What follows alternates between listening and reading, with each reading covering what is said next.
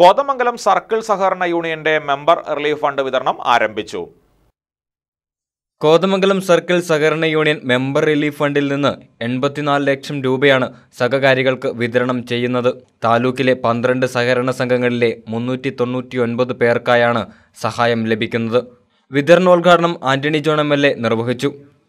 ഏതായാലും ഏറെ ആശ്വാസകരമായിട്ടുള്ള ഒരു തീരുമാനത്തിന്റെ ഭാഗമായി തന്നെയാണ് സംസ്ഥാന ഗവൺമെന്റ്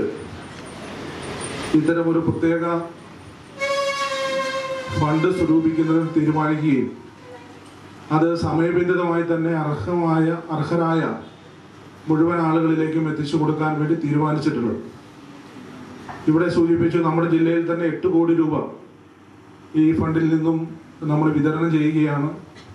നമ്മുടെ താലൂക്കിൽ പന്ത്രണ്ട് സഹകരണ സംഘങ്ങളിലായി മുന്നൂറ്റി തൊണ്ണൂറ്റി ഒൻപത് പേർക്കാണ് എൺപത്തി നാല് ലക്ഷം രൂപ നമ്മൾ വിതരണം ചെയ്യുന്നത്.